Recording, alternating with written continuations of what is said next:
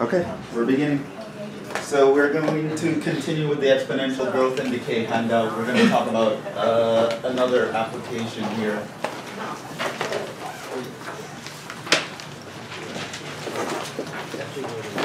Newton's law of cooling, or Newton's cooling law, whatever you want to call it.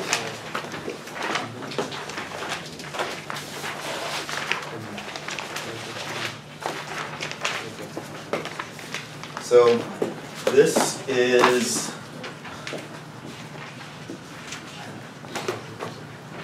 it's an empirical law,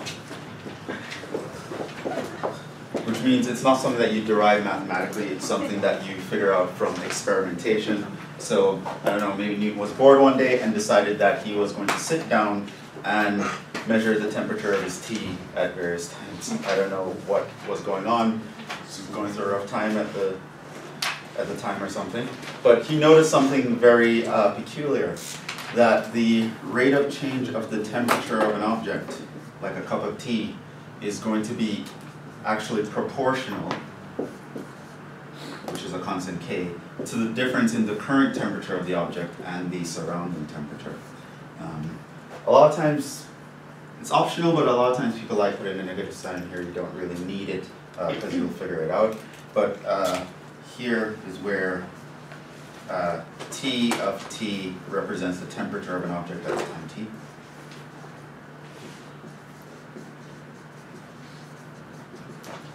Time little t. Uh, K is a constant of proportionality.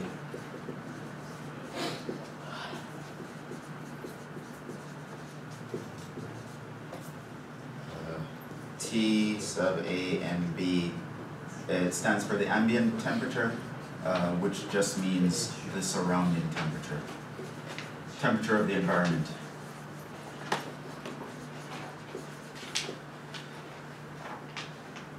So T is the current temperature and it's saying the rate of change of the temperature is going to be proportional to the temperature of the surroundings, meaning uh, the hotter something is, the faster it will cool down, or vice versa. The colder something is, the faster it will heat up. So basically, this is something that you could actually measure and test. And the constant of proportionality K actually depends on the material itself. So a lot of times, um, we usually like to consider K to be positive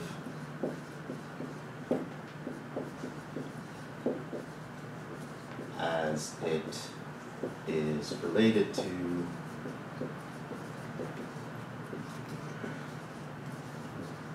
some physical characteristic.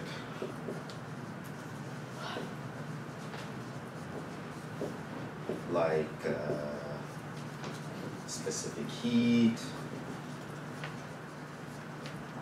or the uh, surface area exposed to the sur surface exposed surface area or something like that.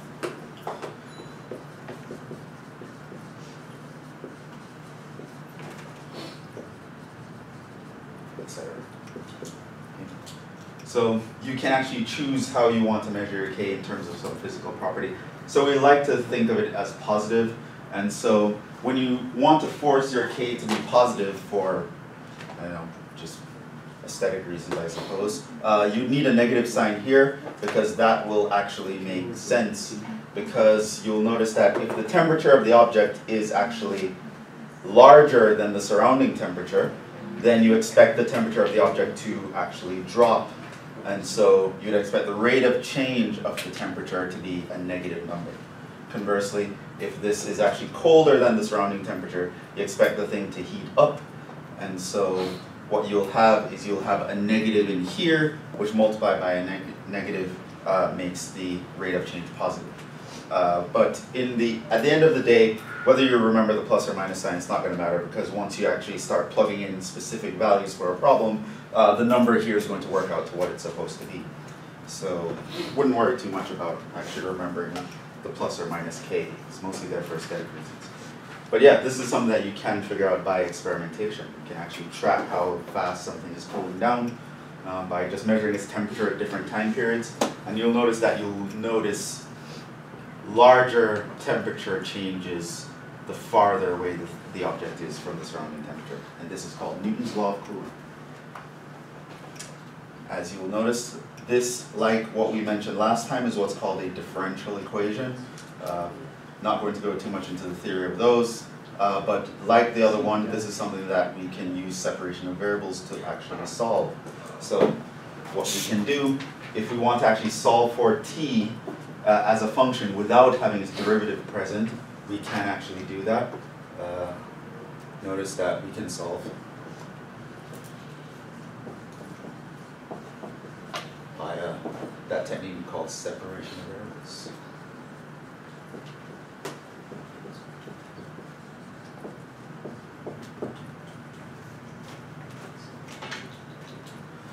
So, uh, if I have, uh, if I have t prime, that.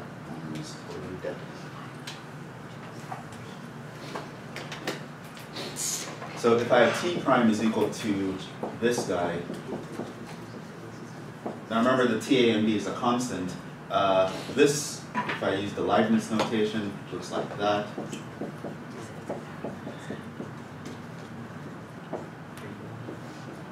And I can sort of separate the big T's from the little t, which is what separation of variables means. What's up? Uh, by dividing both sides by the t minus t a and b and multiplying by the dt. Uh, we would be able to integrate both sides at this point.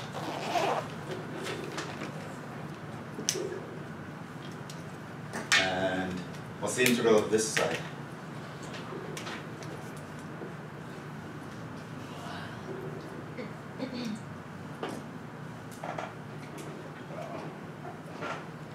Yeah? You Take d minus d a and b outside because it's a con, it's a constant, right? The t, a, and b is a constant. Okay. The big t is a variable. So then it's just So LC LC. square over. ln of t minus t, a, and b. And this side you have minus kt plus some other constant of integration, which we can solve for t by eing both sides.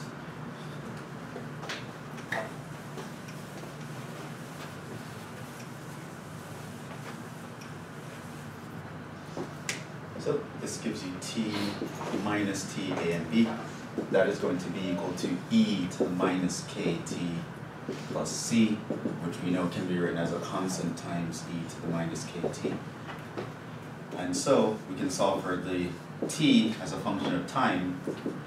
It's going to actually be some constant times e to the minus kt plus the surrounding temperature. And this is the solution to the differential equation.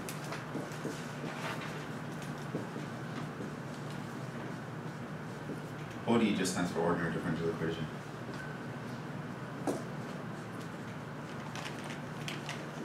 Anyway, this one does not have derivatives in it, so now you are allowed to talk about the temperature uh, purely in terms of the elapsed time. And you can find these constants here if you know uh, you need two pieces of information to find two constants. So you doing that, we can actually answer a lot of problems here about how something is heating up or cooling down. So moving on to the handout. Now we uh, know what we need to do for problem three. So problem three from the handout. Exponential growth and decay one. Okay, so a thermometer is taken from a room where the temperature is 20 degrees Celsius to the outdoors where the temperature is 5 degrees Celsius. After one minute, the thermometer reads 12 degrees Celsius. What will the reading be after one more minute? And when will the thermometer read 6 degrees Celsius? So, um, here we can start to, what's the given info here? What, what do I know so far? T um, ambient is five degrees Celsius. T what? T A and B. Yeah, T ambient is 5. What else do I know?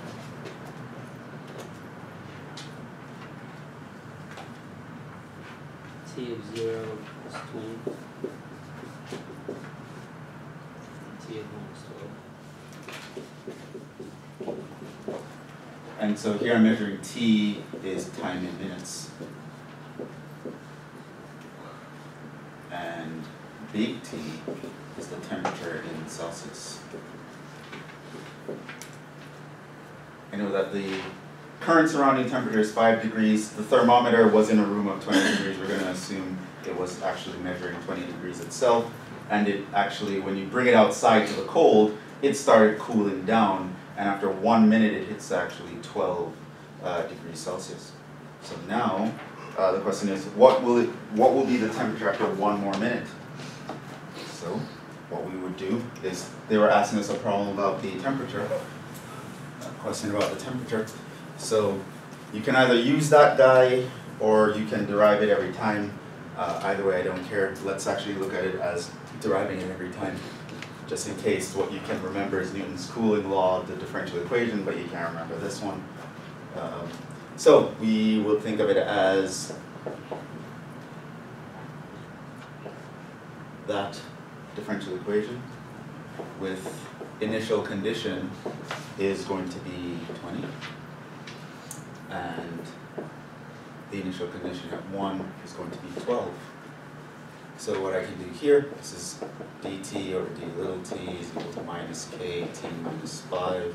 This means that dt over t minus five is equal to minus k dt. Gonna integrate both sides, this is ln of t minus five is equal to minus kt plus c. And so this means that t minus five is going to be c e to the minus kt. And so this means the current temperature at any time is going to be given by this expression. Now I can find the c and the k by actually plugging these guys in, so that's what I'm going to do. Uh, doesn't, uh, isn't the initial condition only T zero? Why is T of one also? Well, this is the initial condition, but we actually need more than one pieces of information because we actually have two unknowns in this equation. So if I only had one piece of information, we actually couldn't do much. Um, However, using the T zero uh, info, uh, this is equal to twenty, well, that is going to be equal to this expression when I plug in T equals zero. So that's just C e to the zero plus five, and that means I have that my C is fifteen.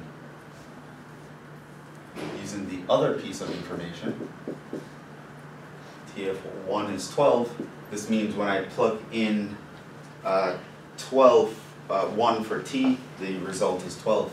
So I know my C is fifteen, so this is going to be fifteen E to the minus K times one plus five, and from that I can find the K. So this is going to be, subtract five from both sides, I would have seven. And then that's seven over fifteen is equal to E to the minus K, so I can ln both sides. So I get my uh my K is equal to uh minus ln of seven over fifteen. So this means ultimately my temperature is given by the formula fifteen E to, let's write sorry, um,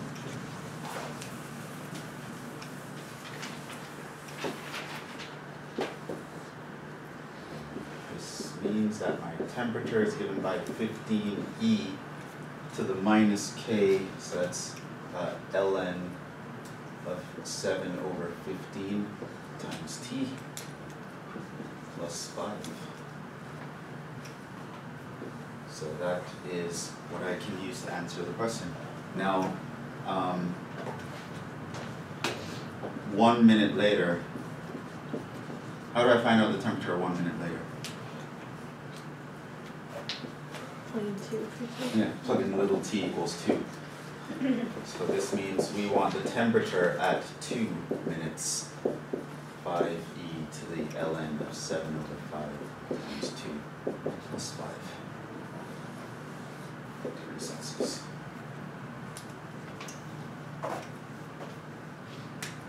And if I look at part B,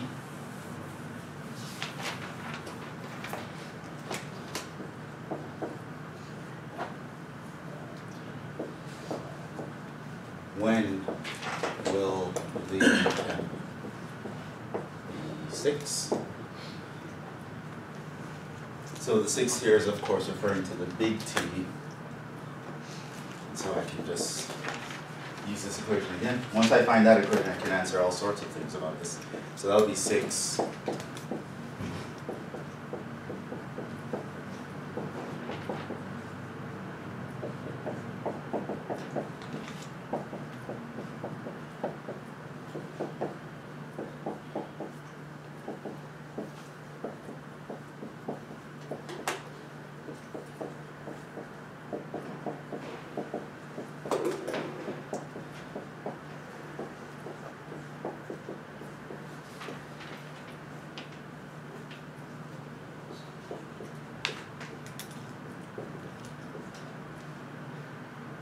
uh, minutes.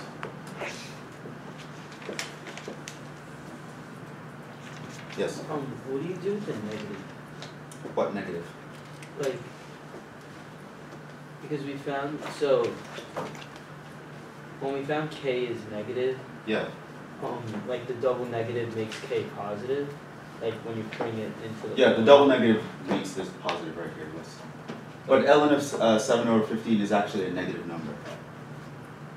Oh, oh, so So- so it you is cooling down. that, Huh? okay, so that's what you were saying before that, like it doesn't really matter if you remember the negative or not? Yeah, it doesn't, because it's gonna work out, it's gonna work itself out. Uh, this, by the way, is a positive number, so, negative, okay. so when I put in a negative k, it gives me actually the right kind of answer, because uh, we expect this thing to be cooling down. So it should give us, it should look like an e to the minus something, which is going down like that. So that actually makes sense. And yeah, so it'll work itself out whether you remember the negative or not.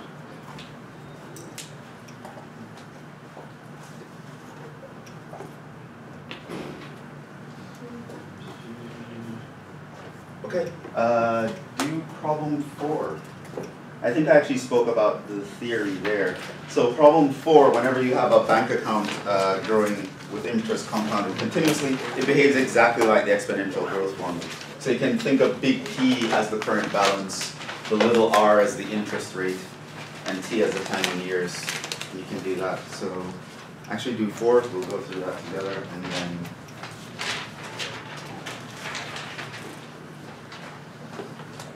three minutes is probably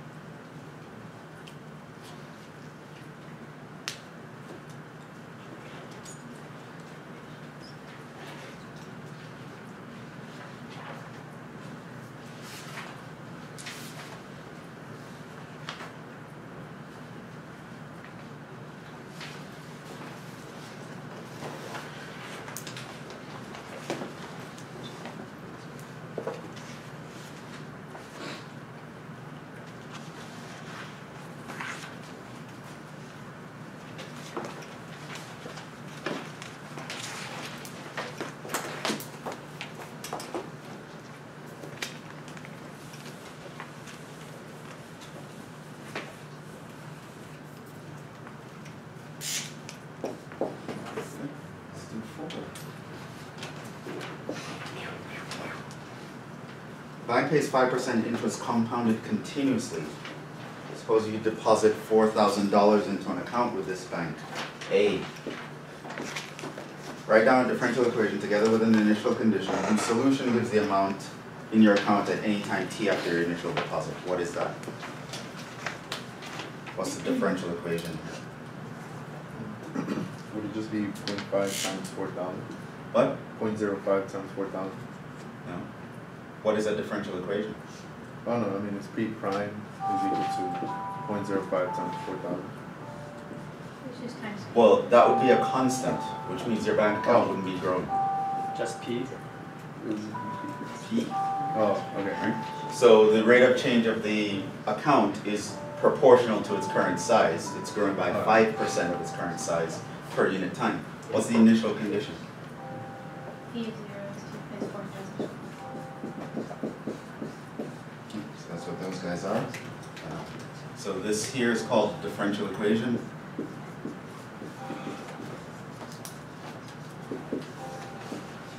It's an equation with a derivative in it.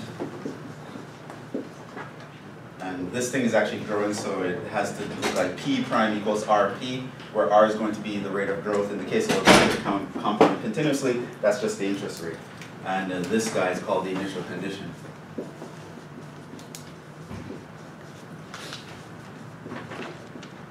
That's what it is in the beginning, the state in the beginning. Now, move on to B, I think that was it. At what rate uh, is your account increasing when the balance reaches six thousand? What's your? You just plug thirteen. Yeah, you just, this is just me, this is just asking the rate, uh. This is P prime uh, when P equals six thousand. That's just going to be zero point zero five times six thousand. Which is whatever.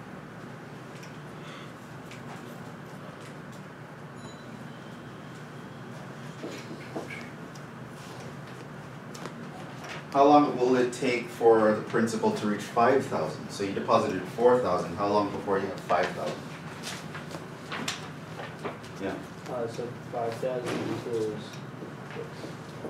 uh, the initial, so four thousand. E to the point zero five T, RT. so this is where we're using now the equation, which is the solution to the differential equation, that P is equal to P naught E to the RT.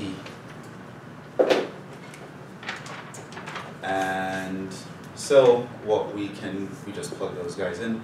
The current P we want to be five thousand, starting with four thousand, and that's the interest rate. So this means we have pretty much five over four is equal to E to the point zero five T, or in other words, ln of five over four is equal to zero five is equal to T. So that, that's going to be it.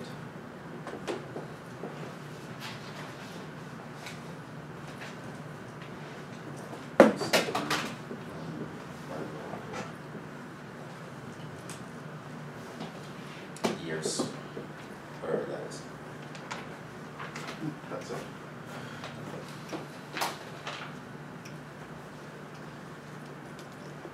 Now in the differential equations class, you learn how to modify this equation to deal with other scenarios, but I'm not gonna ask you anything more complicated than this. And so that's the uh, the last thing you need to know for the test in theory. So we had a bunch of integration techniques, approximate integration, improper integrals, and this application. Did anyone do the test yet? Do it, you, you finished it? Pretty much. Yeah. Okay. Feel confident? Like, I'll, I'll, I'll post the answers probably like Don't Sunday or two. Huh? You didn't?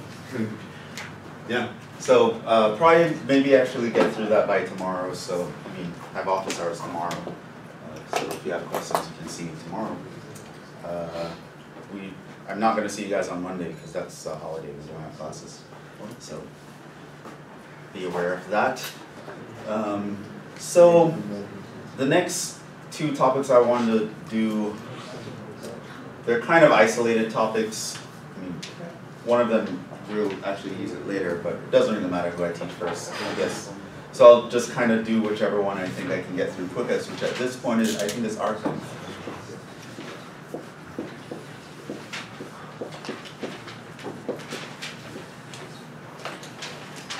So I guess if we finish this, I can throw an extra bonus problem in there on this thing. It's, it's not gonna be too tough, it's just another application of integrals, believe it or not. Uh, this is just finding out the length of a curve on some integral, uh, interval.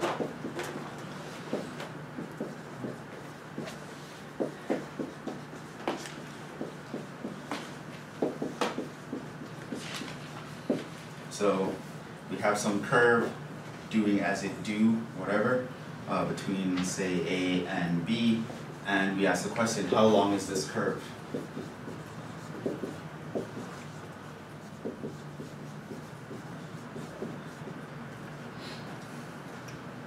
So uh, we pretty much do uh, what calculus taught us to do. Um, one of the main ideas of calculus, the kind of calculus way of thinking, is to, if you don't know the answer, uh, break it up into little segments, figure out the answer for each segment, and then add up all the segments together. That's the integral way of thinking. Um, thinking in terms of infinitesimals. So what we can do is, given this curve uh, between A and B, uh, we don't know how to find the length of this curve, but we do know how to find the length of something. Uh, so uh, we're going to use that. In particular, we know how to find the length of straight lines. So what we're going to do is we're going to approximate this curve with a with a bunch of straight lines.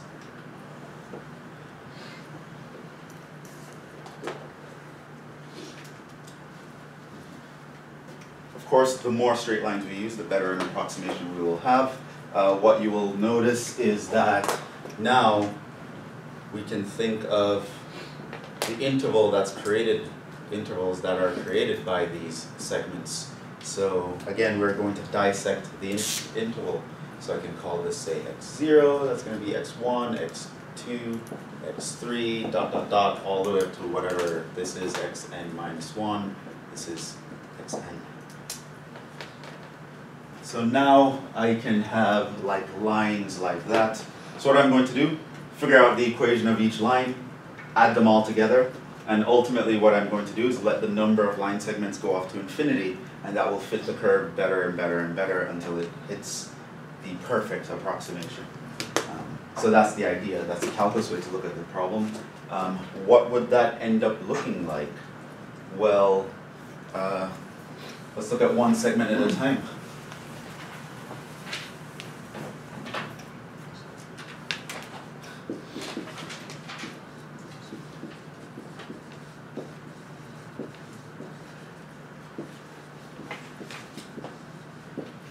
Point you have a curve here and you have two points that are connecting that curve. So that's uh, say your xn minus one and your xn something like that. One thing what we can do is we can call this uh, a delta x whenever convenient. Uh, we can actually call the distance here between the y's delta y whenever that's convenient. Um, if I call my curve f of x, then this is going to be the difference f of x n minus uh, f of x n minus 1. So now we know by the distance formula how to actually compute this. By the distance formula.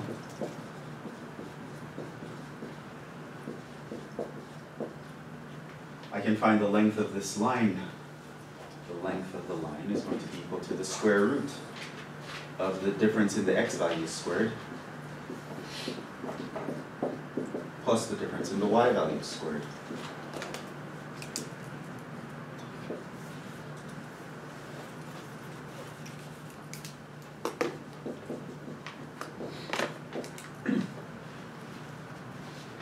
Um, I I can write this as the s- change in x squared plus basically the change in y squared. Um, one thing you can notice also then by the mean value theorem from Calc one, anyone remembers what mean value theorem says?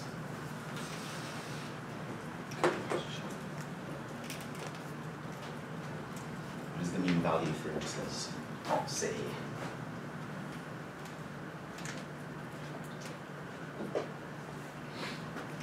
Says f is continuous on an interval and differentiable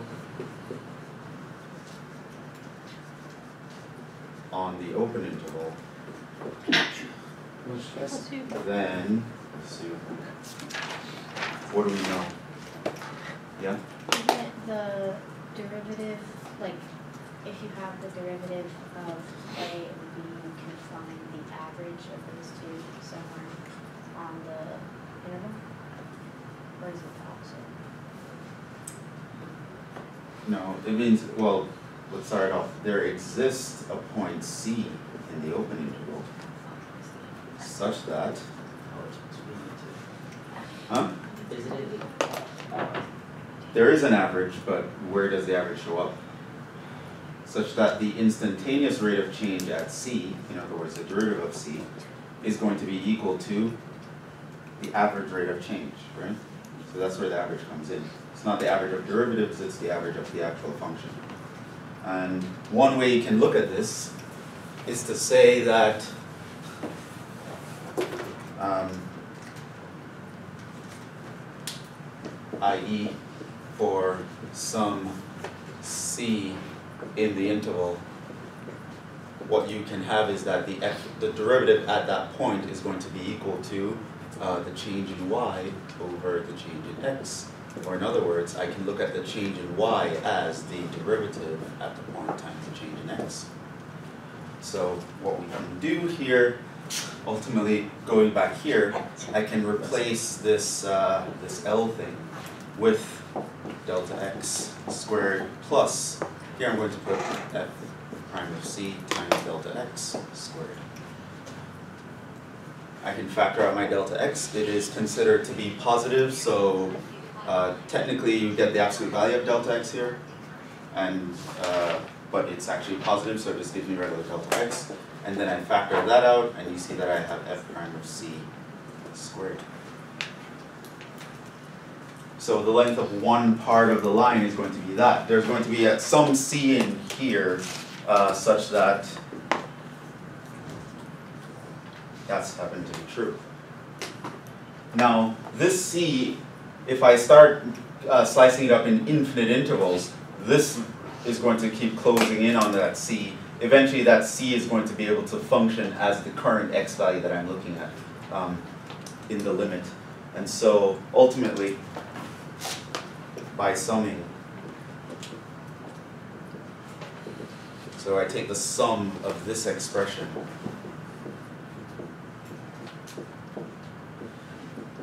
As uh, delta x is going off to uh, zero, or in other words, or number of subintervals is going off to infinity. In either case, uh, what we would end up with here is a bona fide Riemann sum you'll actually get an integral out of this, and it's the integral of this particular function. The integral of the derivative of the curve, the square root of one plus the square of the derivative of the curve. And so ultimately, we end up with L, which is the length of the entire curve.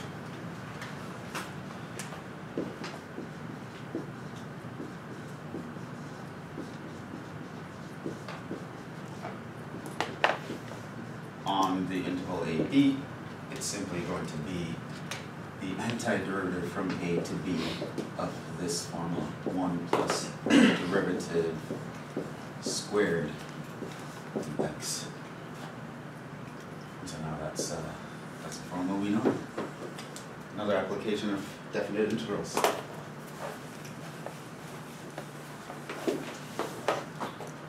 Now, one thing you should know, whenever convenient, we can uh, change the subject of the formula here.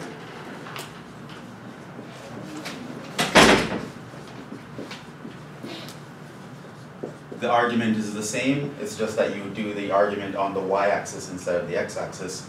Um, so you can also measure a length as one plus uh, the derivative of a function this dy. So this happens to be the length of y equals f of x uh, on AB, where this is on the x-axis. And this guy is the same idea, this is just the length. This is if you know the equation of the curve as a function of y.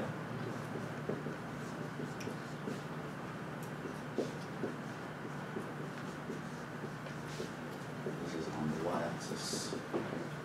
So either way, so here, the idea is you have something that you're thinking of as a function of x, a and b are on the x-axis, I can figure out the length of that thing by doing this formula, whereas if it's hard to find that thing as a function of x, if I can figure out what it is as a function of y, I can integrate between the c and d limits and find the length of it that way. So it depends on the situation. Yeah, the second one is f prime of y squared. yes, it should be squared. Okay, pretty much the same thing, I just changed from the variable x to the variable y.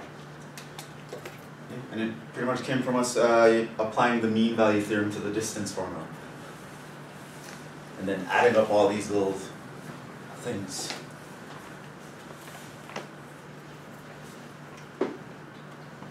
And that's pretty much it. So, uh, yeah, nothing else really to talk about there. Let's just do a bunch of examples.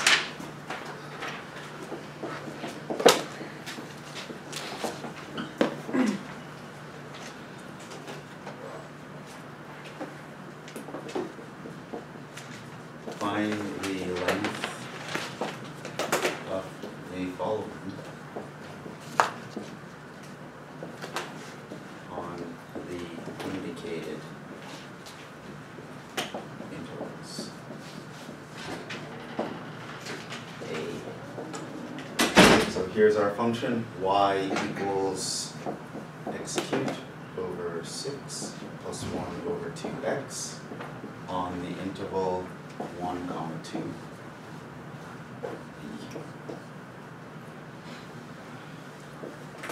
y equals ln cosine of x on the interval zero to pi over four.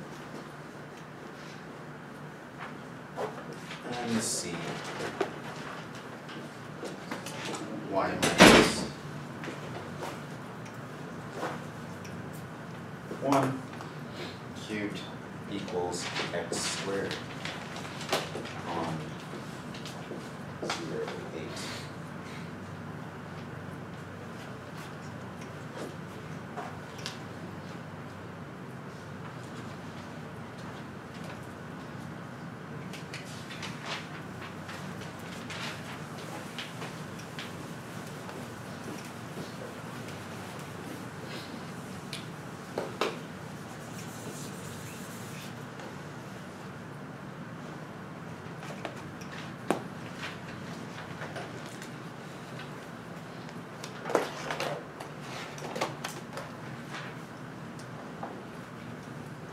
Okay, so let's do the first one.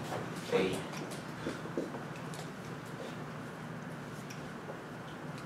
This one they already solved for y, so I know I'm going to want uh, L is going to be equal to the integral from one to two of the square root of one plus y prime squared dx. That's the formula. My y is my f of x here. So now y prime is going to be what? What's y prime? x squared over two plus um two ln to x. No, we're doing derivative. Negative Oh, one sorry, one, yeah. Yeah. Negative one Maybe, over four. yeah. Negative one over four x squared. Where's the four come from? For the one half one and a half. Oh, wait, sorry, the four is there, it's just a thing. My bad. It's just. Right, so that's just a half times x to the minus one, do the derivative, it's minus x to the minus two, you end up with this. Now, you want to say, we're gonna square that and then plug into that formula. The Square of this is going to be x to the fourth over four. Uh, minus this times this, which gives us a quarter, minus a quarter times two, a half, plus this squared, one over four x to the fourth.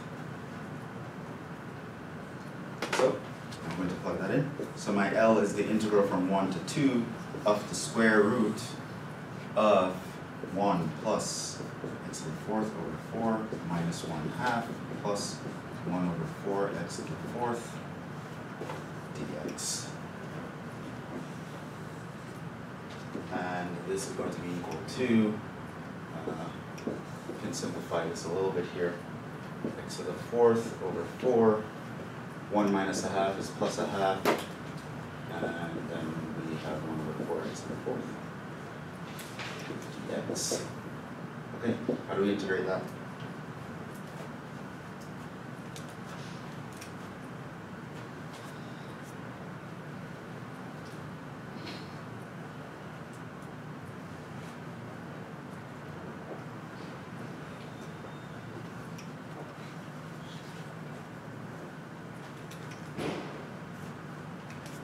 Could we change it into uh x squared plus a squared form? X squared plus a squared? Yeah. By finding the uh quadrat, no. You mean complete the square? Yeah. Um. Technically you could, but I don't think that would help. Because if you, if you wanted to write it in that form, it would be an x squared inside the square. And I'm thinking you're thinking the trig sub, you're gonna have to need an x somewhere out here. Um, another way you could do it, you could factor out an x squared from this and get the x outside here that way, but there's an easier way, there's an easier way. But yeah, definitely you wanna rewrite this somehow. Ideas? Yeah? Turn it into one fraction. So that you have four x to the fourth on the bottom and create a derivative on top, that's fine. Uh, that actually work, there's something easier that's, Multiply from the four x to the fourth. it's staring, it's staring you in the face. Like literally, I literally wrote down something on the board, that's gonna help you. Yeah? Um, is it, um, just the y prime but x squared over two plus? Right, notice that, what are, these guys look awfully similar, don't they? The difference is the middle sign. Right, now this guy here is x squared over two minus one over two x squared all squared. Plus one minus one. And so that one over there looks pretty much like this looks over here, except the middle sign is changed. So it's like here I have a minus b all squared, but over there I have a plus b all squared. I can actually simplify this to x squared over two plus one over two x squared all squared uh, by picking up on that pattern. Pattern.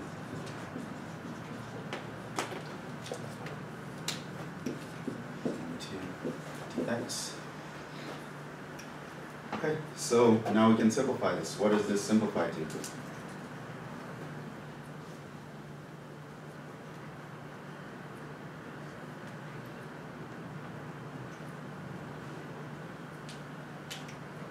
Well, can't you just drop the square and the square root and then x do over six. In this case, yes, but uh, you have to be careful about doing that in general, because technically what you would have is absolute value signs here. Right? We take the square root of a square. So yeah, you can kind of cancel these, but you have to remember when you take the square root of a square, you can get absolute values. However, in this case, that's clearly positive, whatever's on the inside. So you can't ignore it here, but you can't always ignore it, so you should be aware of that.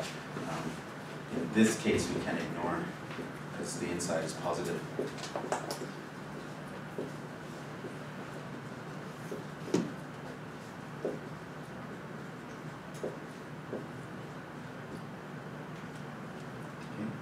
So essentially now I just have to integrate that, which uh, shouldn't be a big deal at this point. I mean, after all the crazy integrals we've been doing, right? So If the inside wasn't positive, could you do anything then you might have to break up the intervals. Oh, Right, remember, so when the, when the inside is negative, the absolute value is going to return the negative of that thing. And when it's positive, it's not gonna do anything, so you might have to break up the integral over where it's positive and negative. And then you just change the sign on, on the, uh, correct integral.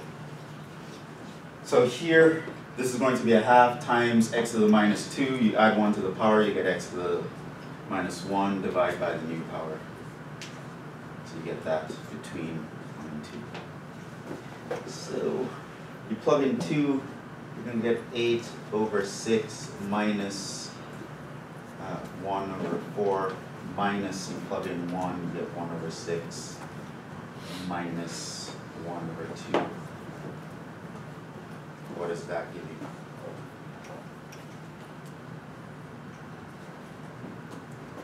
That's seven over six. Plus one over four. And that's going to be. Put that over twenty-four. And four times seven is twenty-eight. Huh? What did you say? Thirty-four?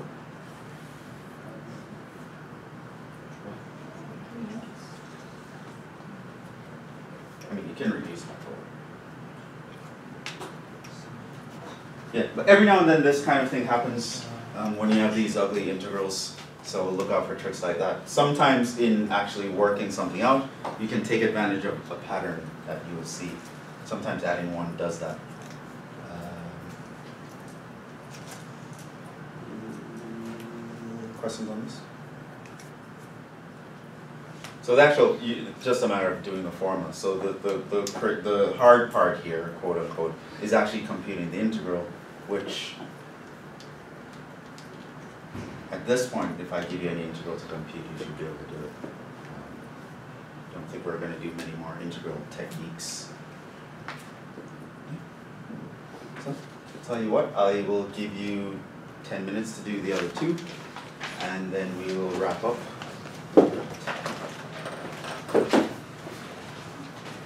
And then I might throw an, an extra bonus problem on, on this stuff. Find the length of this on this interval. Should know how to do that.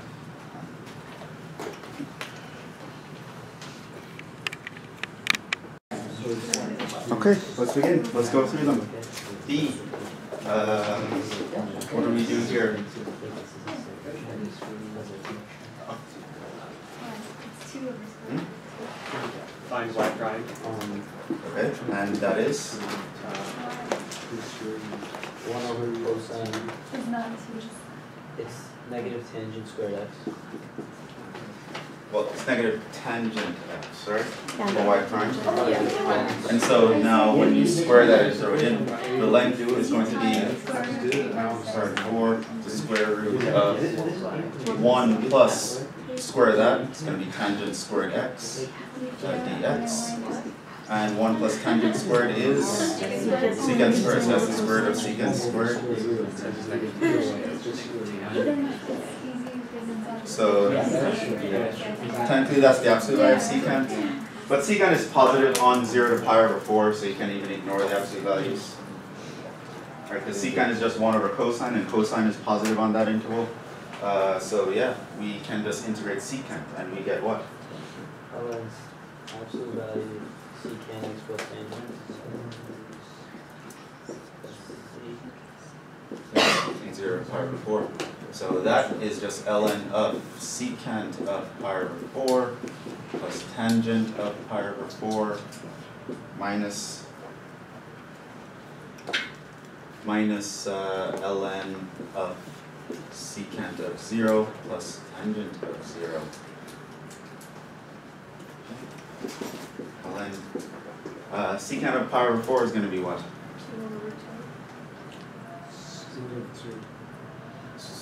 Two Well, over two. square root of two, right? Because cosine of pi over four is radical two over two, or one over radical two, and then the secant flips that, so you get radical two. Tangent of pi over four is one. Uh, secant of zero is one, because cosine of zero is one, tangent of zero is zero, so that's just ln of one, so that is just zero. So that's the answer here. That's the length of the curve in whatever units you're measuring your, your thing.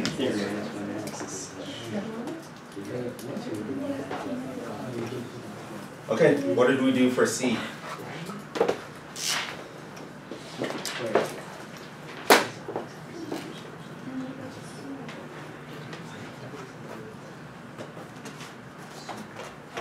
Can you find f prime of c by doing f of b minus f of a over b minus a and then squaring that? Oh, I just, I. No, because that's the average rate of change.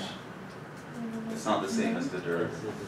The derivative. Is the instantaneous rate of change. So then you need a five like for this one. What's that one? It's, yeah. Entry, so three times one minus one squared. Yeah, but even if you get it implicit, how are you gonna plug that in? That's, That's what- Yeah, that's Well, why could you tried find a value for x based on y minus one two, please take the square root of that. Uh, sure. So x is equal to, it's gonna be the square root of this guy. Now, plus or minus, but is it, which one? you know that we were trying to find out. Now, I know my x is between zero and eight, so I'm gonna think of the positive one. I want actually the positive radical, since x is in uh, zero to eight. So it's a positive number, so I'm gonna ignore the negative radical on this interval. And so I just have that. So basically now I have x is equal to y minus one to the three over two. Is something we can do? So I'm thinking about this as a function of y. Which means now I need the limits on the y-axis.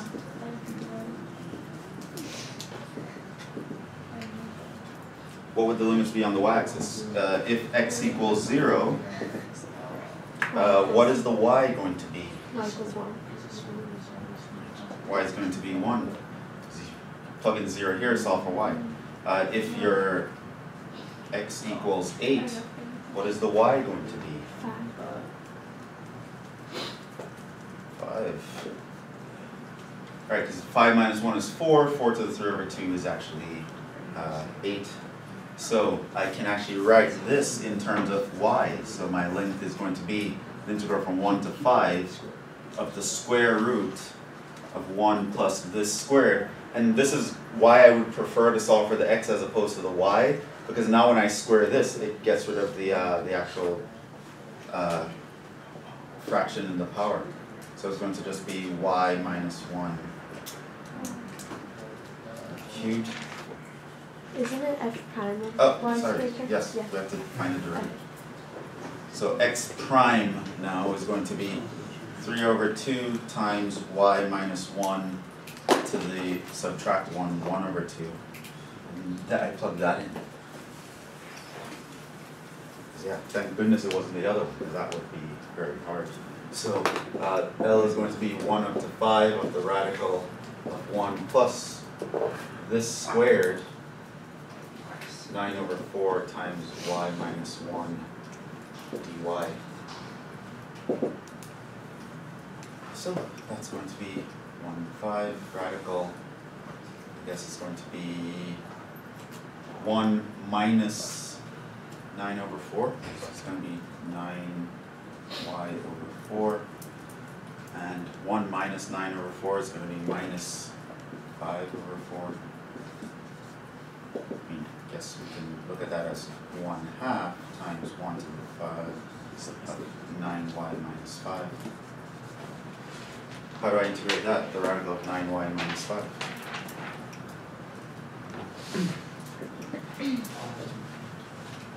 So that's gonna be that to the half, you'd use a u substitution. It's gonna be nine y minus five, uh, you're going to add one to the power, divide by the new power, but then you have to multiply by a one over nine because of the substitution, then we have the one half left here. So that. Two's cancel. So we have one over twenty-seven times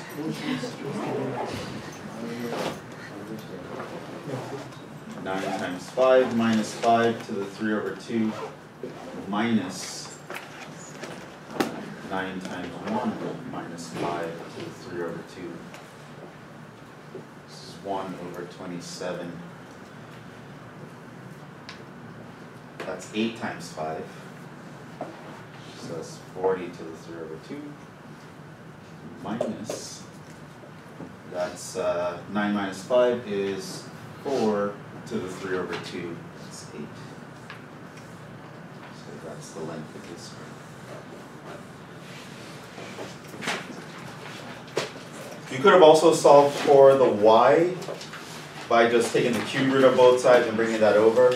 That probably wouldn't actually be that bad either, but uh I just figured it's easier to solve for the x because I get the the half powers where when I square I can get rid of it. Stop there. Next time I see you will be the moment of truth, unless you see me during office hours tomorrow. Let's see you guys next week.